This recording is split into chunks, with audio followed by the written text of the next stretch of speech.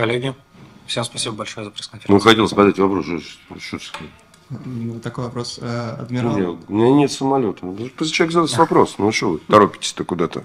Надо же уважать труд коллег. Ну, Еще вопросы? Спасибо. все, ребята. Степан. Есть вопрос? Видите, вот. Не дают вам задавать вопросы. В следующий раз я приду. опять вот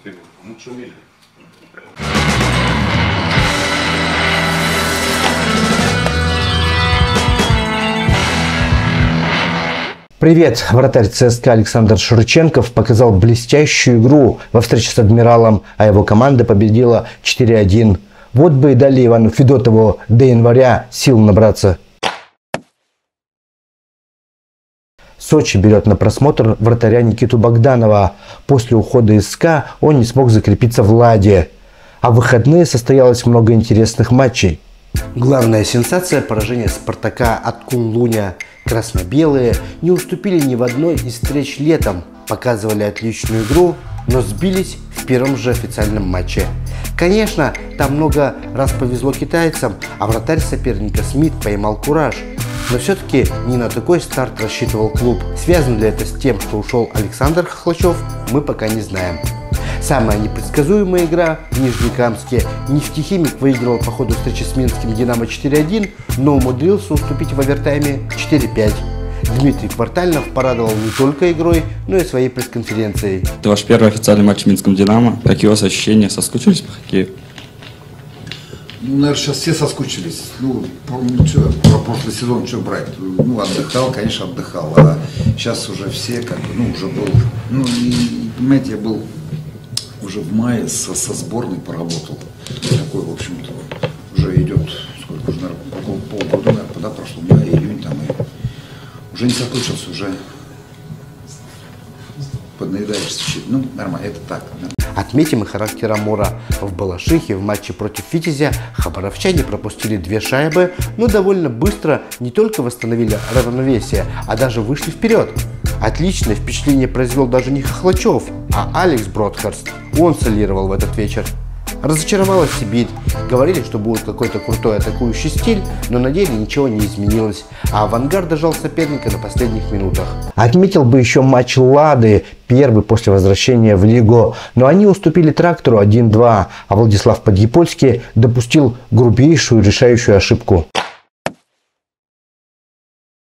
Стартовал чемпионат МХЛ. Омские ястребы в Нижнем Новгороде обыграли «Чайку» 3-0 а другая молодежь зажигает в КХЛ. Нижегородский клуб вышел из отпуска позже всех, практически никем не усилился, потерял пару игроков, плюс ко всему Нижегородцы встречались в основном с командами ВХЛ, причем было много экспериментов, а последние две встречи с Минским Динамо и Адмиралом явно не впечатлили.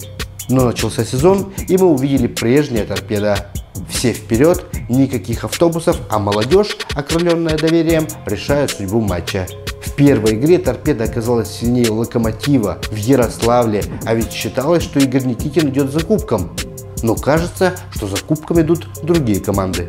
В нашем понимании молодые игроки, выходящие на поле, это уже игроки основного состава. Поэтому молодость уходит на второй план, потому что мы не хотим э, называть этих людей молодыми или лимитчиками. Вот, люди, люди, которые выходят на лед, они полноценные игроки команды. Поэтому э, понятно, что мы сказали, что да, э, и сказали ребятам постарше поддержать молодежь, потому что это непрост, непростой матч, очень сильная команда, опытная команда, которая славится именно э, той игрой, которую мы сегодня видели, э, плотной, э, насыщенной обороной и в то же время агрессивной атакой. Вот. Поэтому здесь э, мы проходим, скажем, э, проверку боем, скажем так, если выражаясь таким языком, для молодежи, чтобы они сразу могли э, включиться э, в то пекло борьбы э, против мужчин. Вот вы видели у нас э, мальчишка Силаев, который шестого года отыграл, наверное, 20 с лишним минут, если не больше, э, Артамонов, э, вот, и э, эти ребята полноценные члены команды, не просто потому, что они там молодые, они э, попали в состав именно по игре. Шикарный матч состоялся в высшей хоккейной лиге. Омские крылья под руководством дебютанта Владимира Филатова переиграли Динамо Алтай 8-5. Если и дальше такие результаты будут, в смысле заброшенных шайб, то я не против.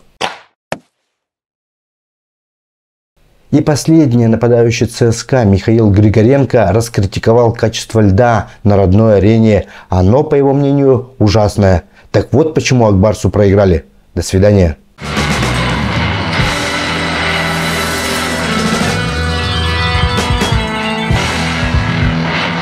Ну, у нас же есть, правильно, спортивный директор, наверное, вопрос по финансам это к нему, а не ко мне.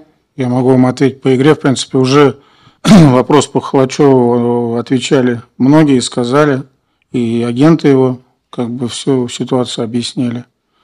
Переговоры велись э, на протяжении всего лета и просто как бы не договорились по финансам.